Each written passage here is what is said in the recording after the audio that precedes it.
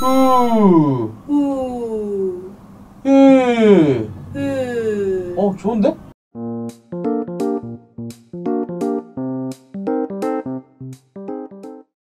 네, 안녕하세요. GBT 보컬 코치 재욱쌤입니다.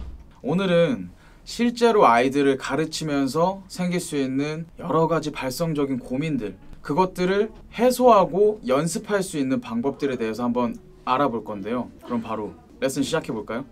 See you right away. 자, 손수도 방법을 하죠. 오, 속담을 하나 하느라 미칠 것 같아 지금.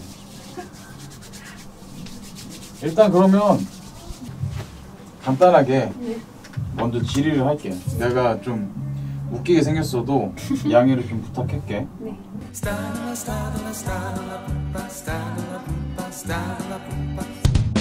자, 일단 너가 고민인 부분들이 있잖아. 네. 발성적으로 게시판을 통해서거나 난 개인적으로든 공통적으로 물어봤던 것들이 있잖아. 네. 그 부분이 정확히 어떻게 힘들고 뭐가 힘든지 좀 알려줄 수 있어요? 음, 살짝 소리 낼 때 단단하게 내려면 목을 조여서만 내야 되는 거. 그러니까 발성 시에 네. 목을 조여야만 강한 소리가 난다. 네. 혹은 뭔가 소리를 낼 때 성대를 접촉하는 느낌이 아니라 목을 조이는 느낌이 난다. 네. 목 조임. 또 소리가 앞에서만 맴돌고 멀리 가지 않아요. 맴도는 느낌. 좋아.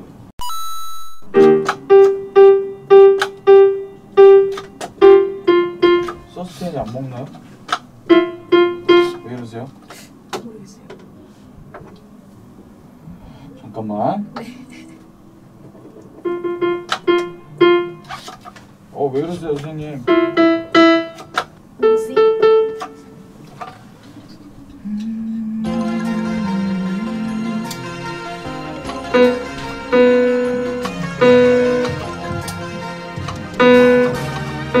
오, 오.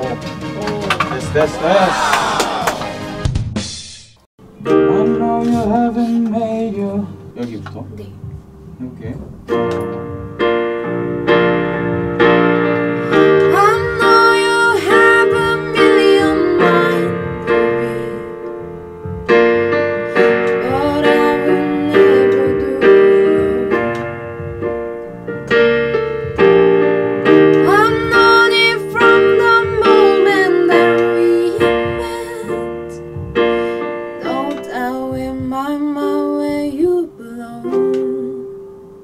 앉아봐.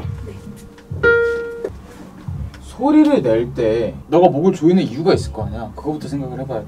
세게 내려고. 세게 내려고 해서 어 세게 내려고 하는데 뭔가 안 따라주니까 자꾸 목을 조이는 거겠지 결과적으로 소리를 낼 때 가장 중요한 건 음성이 얼마만큼 나오느냐가 일단 중요해 음. 그냥 말을 할 때 너 같은 네, 음 호흡이 빠지는 소리가 나잖아 네. 너가 평소에 말할 때부터 아아 아 또렷하게 성대를 접촉할 수 있는 힘이 있느냐가 관건이야 네. 강한 소리를 내고 싶다면 사실상은 작은 소리도 음성으로 먼저 낼 수 있어야 돼. 일단 자세부터 교정해보자. 허리 펴고 네. 가슴을 살짝 열어. 네. 그다음에 목에 힘을 빼봐. 아. 그리고 하품하듯 살짝 들이마시고 하 해봐. 하. 하 하. 하.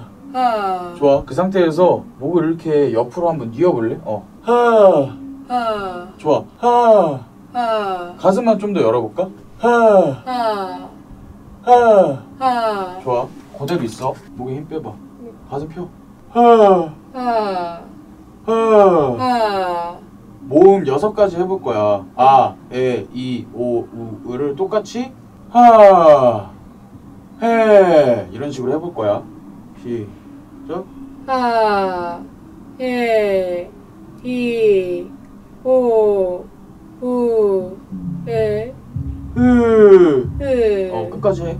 하, 하. 해, 해. 이, 이.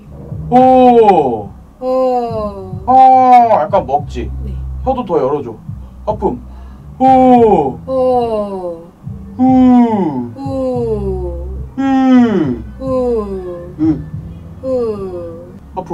자세, 가슴 열고. 자, 중요한 거 네. 들이마실 때 하지 마. 아. 이렇게 쌕쌕거리는 소리가 난다라는 건 들이마실 때 목이 제대로 확장이 안 돼 있는 거야. 아. 거의 약간 닫혀 있는 상태니까 호흡이 지나갈 때 또 점막이 금방 건조해지겠지. 네. 그럼 또 성대가 금방 닳아. 결과적으로 안정적으로 길게 노래할 수 없게 되는 거야. 어. 들이마실 때도 말고 열어놓고 마셔야 최대한 덜 상해 성대가. 뭔 소린지 알겠지? 네. 그래서 하품하듯이 들이마시라고 하는 거야. 목이 확장이 되기 위해서. 시작. 하. 아. 어, 그렇지. 그렇게 열어놔. 해. 해. 히. 이. 어깨 더 펴. 아. 시작. 하. 해. 히. 또. 아, 그럼 이렇게 들이마시지. 시작.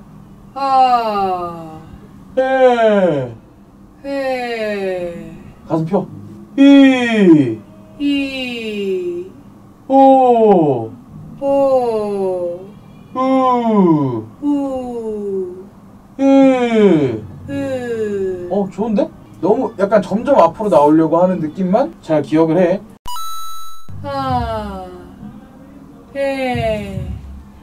히. 또. 하. 해. 히. 넌 일단 음성 먼저 해야 돼. 물론 숙달되어 있는 사람들은 자세가 어느 정도 무너져도 하, 해, 그 근육을 제대로 쓸 수 있기 때문에 크게 차이가 없어. 근데 아직 내가 숙달이 충분히 되지 않았다라고 생각이 들면 이 자세를 무조건 지켜주는 게 좋아.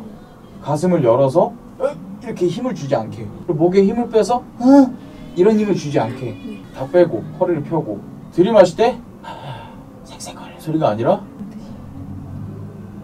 하 근데 또 하품도 막 진짜 하품한 것처럼 막 이렇게 세게 할 필요는 없어 네. 너가 목조임이 생기고 소리가 뭔가 또렷하지 않고 계속 빠지는 소리가 나고 이런 것들이 다 네 성대가 얼마만큼 일을 할 수 있는지 모르기 때문이야 어. 벤치프레스를 막 해 운동을 막 하는데 성대가 들 수 있는 건 100kg야 근데 너는 계속 200kg를 들어 올리라고 막 하고 있단 말이야 어. 누군가가 보조해주지 않으면 못 들어 올리겠지 네. 그러니까 목, 턱, 혀 얘네가 보조해 주는 거라고. 근데 그게 진짜로 내가 드는 무게일까? 성대가 정확하게 들 수 있는 만큼의 무게를 쳐줘야 되는 거야. 그 무게라고 하는 건 우리 안에서 이제 호기압이라고 할 수 있는 거고 네. 숨이 지나가는 압력 그리고 실제로 성대가 들 수 있는 어떤 무게를 명확하게 일단 인지를 해야 돼. 양옆으로 벌리는 아가 아니라 위험. 약간 뭐야 어 느낌. 음. 아 해봐